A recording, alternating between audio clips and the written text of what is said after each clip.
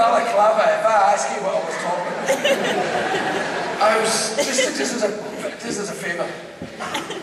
When I was young, I was in the shipyard, I was an apprentice, and my pal was Joe West, who knew more than me about everything. And about everything, he taught me everything. How to smoke, how to dance, how to, what to ask for when you went to the tailor's to buy a suit. And we all worked in the shipyards, and we, we stopped at 4.45 in the evening, and, and we'd all, about 4.43, we'd all be behind walls like that, thousands of us. You know with the shipyards here as well, like Harrods, there, men on thousands of them behind walls waiting on it. There was some jerk with a pocket watch up at the gate like that. Being a wee Hitler, and we'd all be thousands of us all waiting. And then this fuck all would go,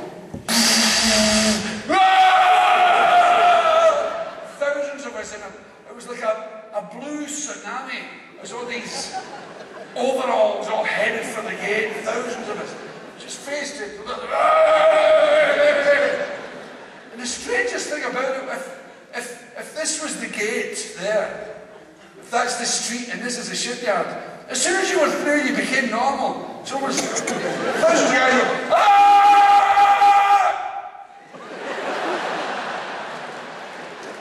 Goodness thing. Well, one day, I was working away in the shed. I was the apprentice welder. And I hear, Foo! And I said to Joe, what was that? It was about half past four. Foo! He said, oh, that's the, the crippled guy's horn. I said, what? He said, cripples. This is like 60, 61, 59 time. That's because you, you, you could say cripples and all that in those days. You know. you could. You, you didn't even because when, when the people brought in disabled and all that, they didn't ask the cripples if it was all right. They just did it. Now, it's kind of weird.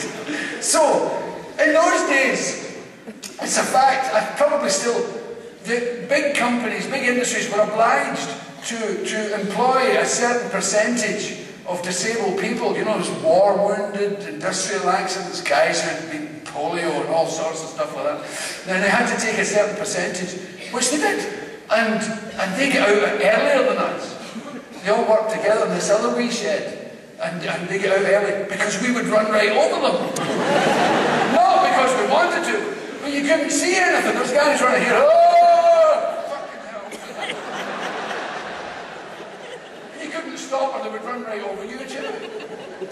I said, oh, fuck off. He says, I'm telling you, they get at half past four. I said, oh, fuck, you take the piss. He said, tomorrow. I will never forget it as long as my arse looks south. Joe says, Come here, you see this? I've We're living in the shed. There's this other wee shed. And then, foo! All these other doors open. And all these men coming out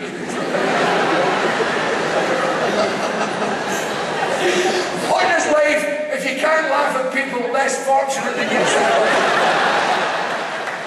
Well, these guys come, come up different shapes and sizes. Got different girls. Oh. And there was a big show-off one.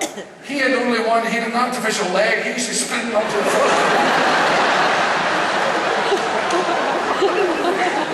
There's all of other guys behind him giving him There's guys I had a video guys. Then there was one guy that was last. It was like, he was shitting himself for us.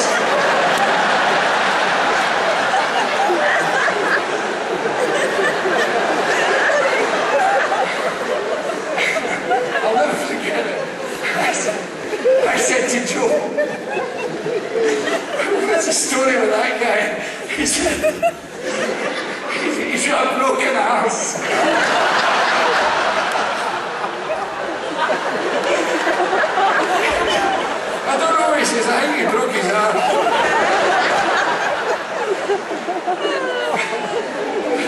For years I waited watching the news to hear somebody say it. There's been a very bad accident. One. Several fatalities and one man was thrown off by helicopter with a broken arms.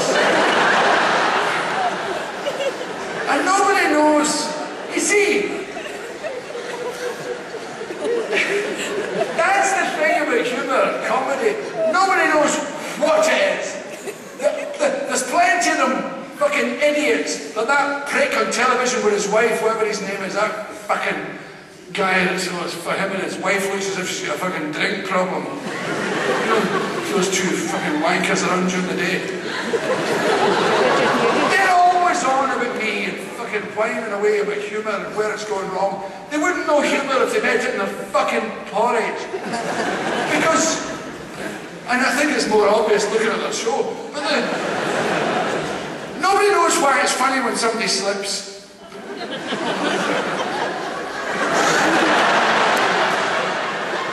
No. Nobody knows. It's just a fucking miracle. And it's yours. Defend it. Don't let them fucking steal it, wrong. And who fucking you the judge, boring wanker? Look, when you're in the airport and you and you that's a, that's a real place for them. You know that thing that moves along, moving floor job with the banister. And when you come along, when you're fully bag, you're trying to adjust your speed. so you don't do what But there's always somebody behind the wall with the controls watching you. and you don't want to be humiliated. If you do a big one, that's bad enough, that. But if you do a biggish one, if you do one of these, your arms come up.